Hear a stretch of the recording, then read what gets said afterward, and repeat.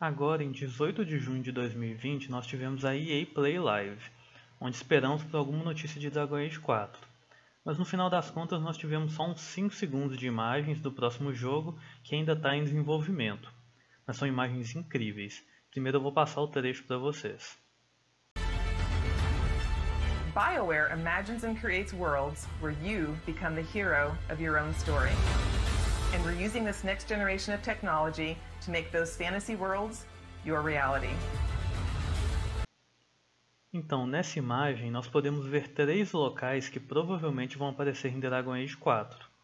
A primeira imagem que nós vemos mostra uma grande árvore, e muitos estão dizendo que pode ser uma Venadal, uma das árvores dos elfos da cidade. O que é um pouco estranho com tanto de tumba e cova que tem perto, pode ser alguma coisa que aconteceu em alguma cidade, mas também pode ser uma localização em Nevarra, a terra dos Mortalitazi, os Magos da Morte, de novo por causa do grande número de tumbas. A segunda é a mais difícil de dizer o que pode ser, porque ela mostra uma espécie de forte ou um castelo tomado por Lyrium Vermelho. O mais provável é que seja algum novo forte em Tevinter, onde o jogo muito provavelmente vai se passar. Mas também existem especulações rodando sobre ser o castelo do Penhasco Vermelho, em Ferelden, ou até mesmo a Fortaleza do Céu de Dragon Age Inquisition, mas como ela ficou nesse estado a gente não teria como saber ainda. A terceira imagem é a mais misteriosa e que eu achei a mais interessante.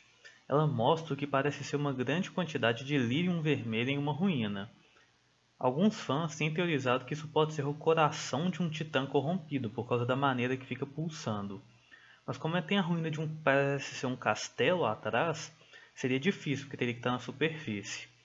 Vale também mencionar, foi só algo que eu pensei, que esse lírium vermelho ele parece muito com um cogumelo profundo, apesar de que isso pode ser só um redesign do lírium vermelho, não querer dizer nada.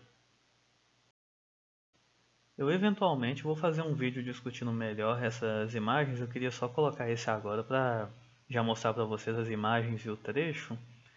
E também tem o fato que depois de mais de uma semana, quase um mês ansioso, e mais de uma hora vendo a conferência da EA para 5 segundos de Dragon Age, eu fiquei me sentindo, né, um palhaço. Mas eu sinto muito por dois vídeos curtos, super em sequência assim, né, do Patreon também, mas ainda hoje ou no máximo amanhã já vai sair o próximo vídeo normal do canal. Aí depois vai continuar normalmente um vídeo por semana. Agradeço muito a todos que viram até aqui e até o próximo.